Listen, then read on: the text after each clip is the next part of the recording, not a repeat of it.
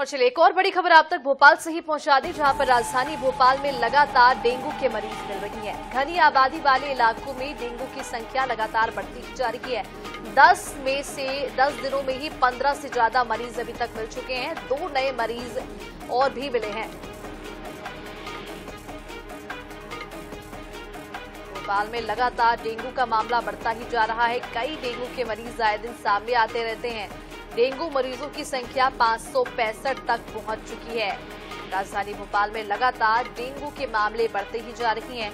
घनी आबादी वाले इलाकों में डेंगू डेंगू मरीजों की संख्या बढ़ती ही जा रही है। 10 दिनों में ही 15 से ज़्यादा मरीज़ अभी तक डेंगू के मिल चुके हैं।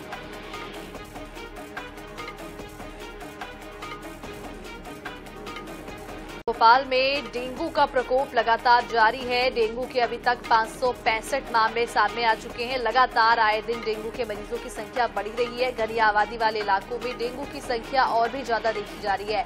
दस दिन, दस दिनों में ही पंद्रह से ज़्यादा डेंगू के मरीज़ अभी तक मिल चुके हैं।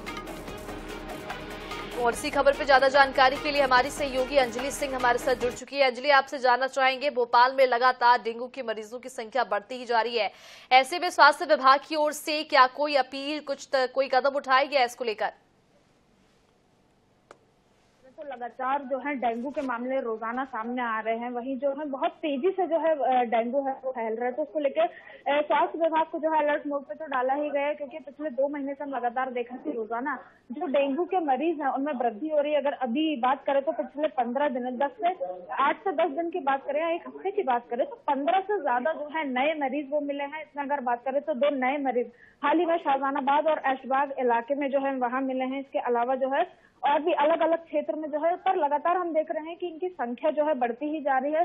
पाँच सौ से ज़्यादा जो है डेंगू के मरीज़ राजधानी भोपाल में ही है और धीरे धीरे इनकी जो आबादी है वो भी बढ़ती जा रही है। और घनी आबादी की बात करें तो बाहरी जो इलाके हैं, उनमें भी जो है जहाँ आबादी ज़्यादा है, जहाँ पे साफ़ सफ़ाई नहीं हो रही है तो वहाँ जो है डेंगू के मरीजों की जो है संख्या जो है मरीज़ बढ़ते ही जा रहे हैं। हालाँकि इसको लेके जो है नगर निगम भी साफ़ सफ़ाई पे ज़ोर दे रहा है तो दूसरी ओर जो स्वास्थ्य विभाग है, उसको भी अलर्ट पे डाला गया है। तो उनमें भी जो है एक अलर्टनेस है, लेकिन हम देख रहे हैं कि साफ़ सफ़ाई नहीं होने के कारण डेंगू के मरीज़ जो है रोज़ाना सामने आ रहे हैं कि हम देखते हैं एक दो मरीज़ जो है प्रतिदिन जो है सामने आते हैं। जी।